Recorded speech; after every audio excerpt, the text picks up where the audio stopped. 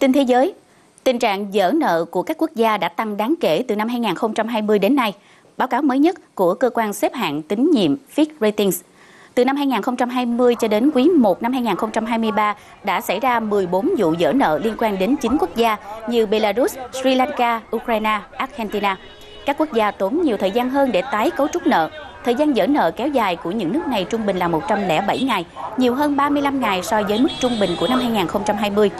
Nguyên nhân chủ yếu là do nợ chính phủ liên tục tăng trong 10 năm qua, cú sốc do đại dịch Covid-19, tác động từ cuộc xung đột Nga-Ukraine đối với giá thực phẩm và năng lượng, lạm phát toàn cầu và chính sách tiền tệ thắt chặt đột ngột. Còn tại Thái Lan thì câu chuyện đang nóng lúc này chính là cháy rừng trên núi à, Khao Tabet, tỉnh Nakhon Nayok. Từ đêm 10 tháng 4 thì lửa đã lan sang khu vực giáp với công viên quốc gia Khao Dài. Nhà chức trách đã huy động 200 nhân viên kiểm lâm và máy bay trực thăng chở nước để dập lửa. Nhưng do địa hình khu vực dốc và khó tiếp cận nên đám cháy vẫn chưa được khống chế.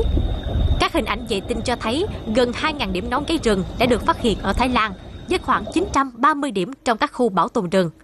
Trong đó, tỉnh Chiang Mai ghi nhận nhiều điểm tiềm ẩn nguy cơ cháy rừng nhất. Chính phủ Hàn Quốc ngày hôm qua thông báo học sinh có hành vi bắt nạt tại trường học ở nước này sẽ bị lưu hồ sơ kỷ luật trong quá trình xét tuyển vào đại học thường kỳ, bắt đầu thực hiện từ năm 2026.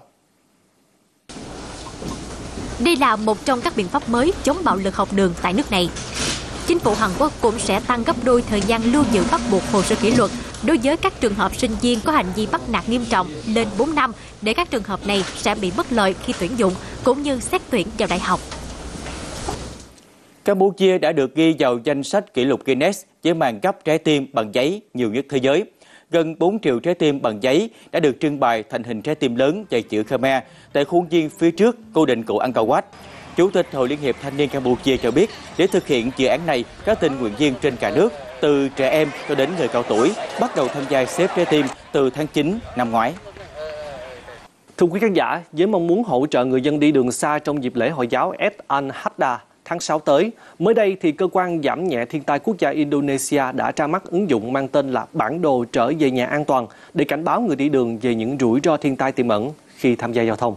Theo cơ quan giảm nhẹ thiên tai quốc gia Indonesia, bản đồ mô tả chi tiết các thảm họa như là sạt lở đất, thời tiết khắc nghiệt và mức độ lũ lụt ở tất cả các tuyến đường trên khắp các đảo Sumatra, Java và Bali. Bản đồ trở về nhà an toàn liệt kê các thảm họa gần đây và tần suất xảy ra của chúng ở một khu vực cụ thể. Điều này được kỳ vọng sẽ giúp cho người lái xe lập kế hoạch di chuyển khi đi lại trong dịp Ad al-Hada.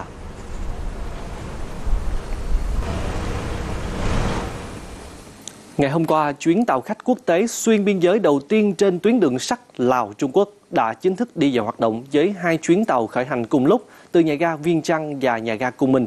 Đôi tàu chở khách xuyên biên giới này được kỳ vọng sẽ mở đầu cho kỷ nguyên du lịch xuyên biên giới bằng đường sắt. Các phóng viên Đài truyền hình Việt Nam thông tin thêm từ thủ đô Viên Trăng, Lào.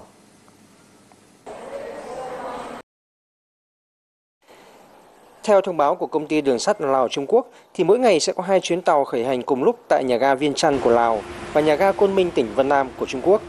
Hành khách sẽ mất khoảng 10 giờ 30 phút để di chuyển từ Viên Chăn tới Côn Minh và ngược lại, bao gồm cả thời gian làm thủ tục xuất nhập cảnh tại ga Bò Tèn và ga Bò Hàn. Trước khi khai trương chuyến tàu xuyên biên giới hôm nay, tuyến đường sắt Lào Trung Quốc đã được khai thác ở mỗi bên, với ga cuối là ga Bò Tèn và ga Bò Hàn từ cuối năm 2021 và đã vận chuyển được gần 14 triệu lượt hành khách và hơn 18,2 triệu tấn hàng hóa.